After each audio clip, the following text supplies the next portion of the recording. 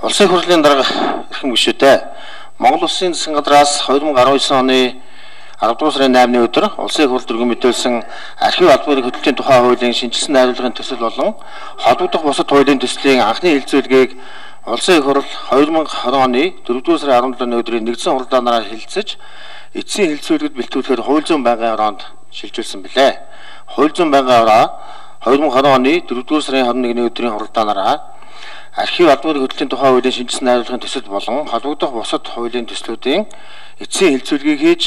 төслийн агуулга зарчмыг алдагдуулахгүйгээр үг хэллэг, дистрадал, бүтцийн шинжтэй засварыг төсөл тусган жигдэлж нэгдсэн уралдааны анхны хэлцүүлгээр олонхын дэмжлэг авсан саналуудыг нэмж тусган эцсийн хуулийн төслийг бэлтгэлээ. Хуулийн төслийг хэлцэх явцад улсын хурлын гишүүн хил болд үндэсний архивын сан өмөргийн баримтад 1990 оноос өмнөх улс төрийн нам зөвлөлийн архивын баримт хамаарах хэсэг асуудал болон хуулийн төслийн 10 дугаар зүйлийн 16-гийн 5 дахь заалтыг улсын хурлын судалдаа нам болон эвслийн бүлгийн баримт гэж ойлгох талаар хуралдааны тэмдэглэлд тусгуулах. Улсын хурлын гишүүн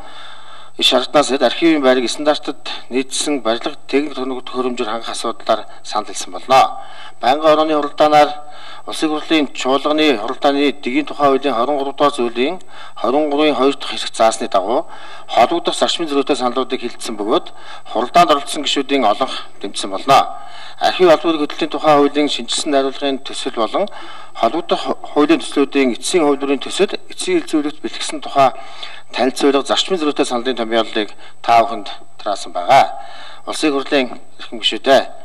архив албаны хөдөлтийн тухай хуулийн шинжилсэн найруулгын төсөл болон хамт өргөн мэдээлсэн хууль хүчингүй болсон тооцох тухай Монгол улсын засаг зэрэг нутаг дэвсгэрийн нэгж түүний удирдлагын тухай хуульд нэмэлт оруулах тухай төрийн болон албаны нууцын тухай хуульд өөрчлөлт оруулах тухай соёлын өвөг хамгаалах тухай хуульд өөрчлөлт оруулах тухай компани тухай хуульд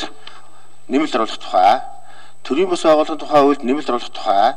ус цагуур орчны хяналт шилжлэгээний тухай хуульд өөрчлөлт оруулах тухай тагнуулын байгууллагын тухай хуульд өөрчлөлт оруулах тухай аж ахуйн үйл ажиллагааны тусгай зөвшөөрлийн тухай хуульд нэмэлт оруулах тухай улсын тэмдэгтийн хурамжийн тухай хуульд нэмэлт оруулах тухай хуулийн төслүүдийн эцсийн хувьдрын төсөл эцсийн хэлцүүлэгт бэлтгэсэн тухай танилцуулга болон зарчмын зөрүүтэй саналуудыг хэлсэн шийдвэрлэж хуулийн төслүүдийг баталж өгөхийг та бүхнээс хүсье. За мөнхөд тагшинд баярлалаа. За ажлын хэсгээ танилцуулъя. Бэлгүүн хууль зүйн дотоод хэргийн яамны